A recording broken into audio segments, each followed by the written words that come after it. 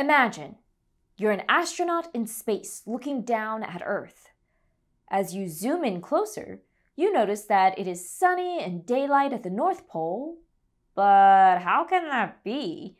You check your clock and it's midnight. So you wonder what is happening at the South Pole.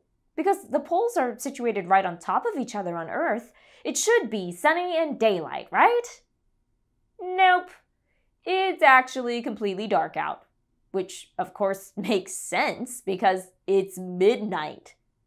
But why is one pole shadowed in darkness while the other pole is covered in sunlight? Shouldn't they be on the same schedule? Today, we're going to dive into the mysteries of Earth's movements and uncover the secrets behind day, night, the changing seasons, and why it's nighttime at one pole while it's daytime at the other.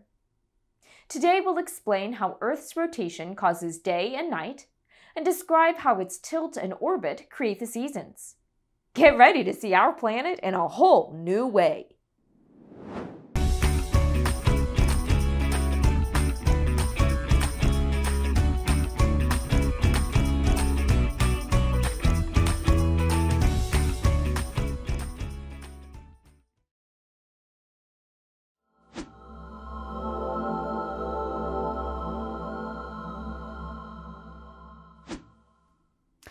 Before we dive in, let's understand a bit about Earth's movements. Earth is constantly moving through space in two main ways. It rotates on its axis and orbits or revolves around the sun. These movements are key to understanding day and night, seasons, and so much more. Our Earth rotates on its axis, an imaginary line that runs from the North Pole to the South Pole. Rotate means the Earth spins around this axis, much like a spinning top or a basketball spinning on a finger. This rotation causes different parts of Earth to face the sun at different times, resulting in day and night. The side facing the sun experiences daytime, while the side facing away experiences nighttime. How long do you think it takes for Earth to complete one full rotation on its axis? That's right, it takes 24 hours to complete one rotation, which equals one full day. This constant rotation gives us a regular cycle of day and night. The side facing the sun changes, giving us daylight, while the side facing away experiences night. Think about your typical day. When you wake up, the sun is rising. By bedtime, it's dark outside. Can you imagine what would happen if Earth didn't rotate? Thinking about the ways the day night cycle impacts us, how would this change affect life on Earth? Like, for example, our daily temperatures. Pause the video and record your thoughts in your guided notes.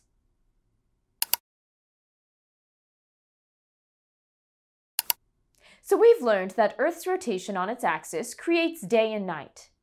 Half the planet is in darkness, while the other half is facing the sun. But since the poles are right on top of each other, shouldn't they be on the same schedule?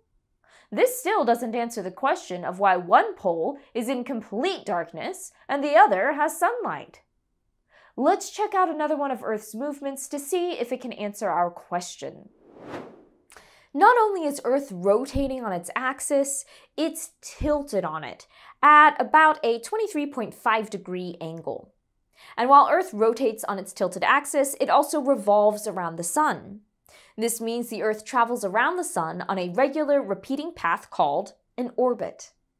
As Earth travels along this path, its tilt causes different parts of Earth to receive more direct sunlight at different times.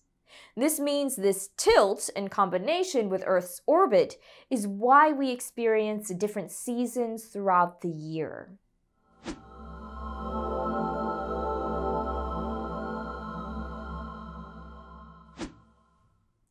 Earth is also divided into hemispheres, or halves. An imaginary line called the equator divides the Earth into the northern and southern halves, or the northern and southern hemispheres. The hemisphere tilted toward the sun receives more direct sunlight, resulting in hotter weather and more hours of daylight. In other words, when the northern hemisphere tilts toward the sun, It's summer. But if it's summer in the northern hemisphere, then what's going on here in the southern hemisphere when it's tilted away? Pause the video and record your thoughts in your guided notes.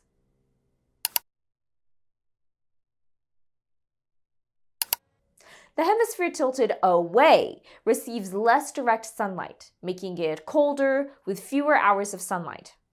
That means when it's summer in one hemisphere, it's winter in the opposite. Six months later, the southern hemisphere is tilted toward the sun and has summer, and the northern hemisphere is tilted away from the sun and has winter. Spring and autumn occur when both hemispheres are tilted towards the sun more evenly, so they both have mild weather and days and nights of a similar length. As for places near the equator, like where tropical rainforests are located, it stays warm and sunny all year because they are always tilted toward the sun, meaning they always get a lot of sunlight. They don't get much change in temperature or daylight throughout the year. There are four key points in Earth's orbit that define when one season changes to the next. Two of them are called solstices, and two are called equinoxes. The solstices happen in winter and summer, and they mark the longest and shortest days of the year. The equinoxes happen in spring and fall and mark when the day has equal amounts of day and night. Okay, so the solstices mark the longest and shortest days of the year. Of course, there are still only 24 hours in a day, so what exactly do we mean by the longest and shortest days? A day is always 24 hours long, but the split between daylight and darkness within those 24 hours changes. The longest day happens when a hemisphere is most tilted toward the sun. So it has the most daylight hours and fewest hours spent in darkness, while the shortest day happens when a hemisphere is least tilted toward the sun. So it has the fewest daylight hours and the most hours spent in darkness. In North America, the summer solstice is around June 21st and is the longest day of the year because the North Pole is tilted closest to the sun, giving us the most daylight hours. The winter solstice is around December 21st and is the shortest day of the year because the North Pole is tilted furthest from the sun, giving us the fewest daylight hours. So, what about equinoxes? What makes them different from solstices? What do you think? Pause the video and record your thoughts in your guided notes.